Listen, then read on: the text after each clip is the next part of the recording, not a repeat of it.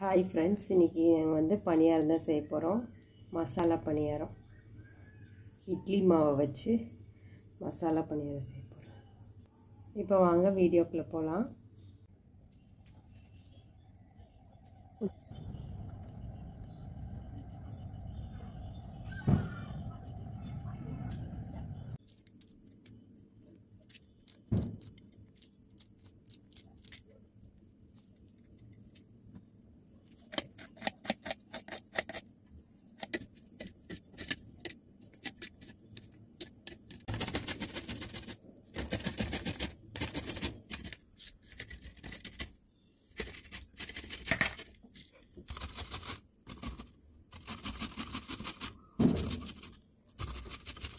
இப்போ வந்து மசாலா பைய பணியாரம் செய்கிறதுக்கு வந்து பெரிய வெங்காயம் ஒன்று கட் பண்ணி வச்சுருக்கேன். கொஞ்சம் கொத்தமல்லி கருவேப்பிலை பச்சை மிளகா ரெண்டு தேங்காய் கொஞ்சம் கேரட் கொஞ்சம் துருவி வச்சுருக்கேன்.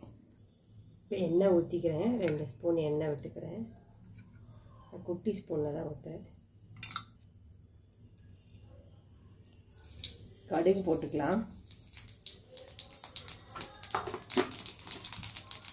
கொஞ்சம் கடலைப்பருப்பு ஆட் பண்ணிக்கிறேன். இப்போ வந்து ஆனியன் ஆட் பண்ணிக்கிறேன். ஆனியன் பச்சை மிளகா.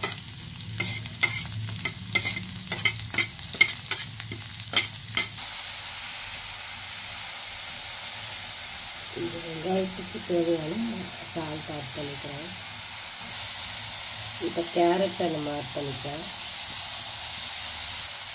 இப்போ வந்து தேங்காய் ஆட் பண்ணிக்கலாம். சும்மா லைட்டாக எல்லாமே லைட்டாக ஃப்ரை போதும். ரொம்ப இன்னும் அவசியம் இல்லை. இப்போ கருவேப்பிலையும் கொத்தமல்லியும் ஆட் பண்ணிக்கலாம். இப்போ நம்ம அடுப்பை ஆஃப் பண்ணிக்கலாம். கொஞ்ச நேரம் ஆறட்டும். அதுக்கப்புறம் மாவில் கொட்டி கலக்கி நம்ம பணியாரத்தில் அவ்வளோ மிக்ஸ் பண்ணிக்கிறேன் நான்.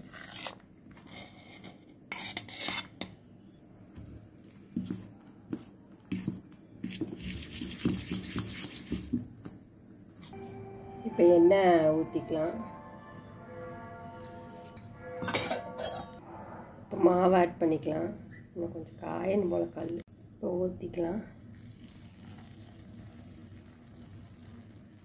நான் பெரிய குழியாக இருக்கனால அரை அரை தான் ஊற்றுறேன்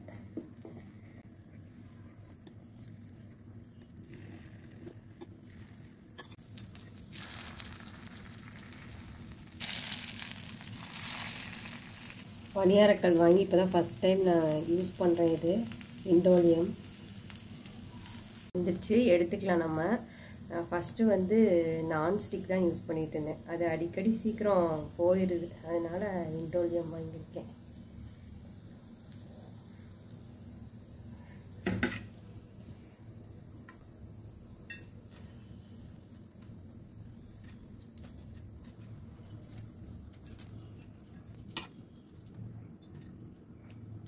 இதுக்கு நான் சட்னி எதுவும் அரைக்கலை. இதிலே காரம் எல்லாம் இருக்கனால நான் எதுவும் சும்மா அப்படியே சாப்பிட போகிறப்ப நீங்களும் இதை ட்ரை பண்ணி பாருங்கள் பிடிச்சிருந்தா ஷேர் பண்ணுங்கள் சப்ஸ்கிரைப் பண்ணுங்கள் தேங்க்யூ ஃபார் வாட்சிங் திஸ் வீடியோ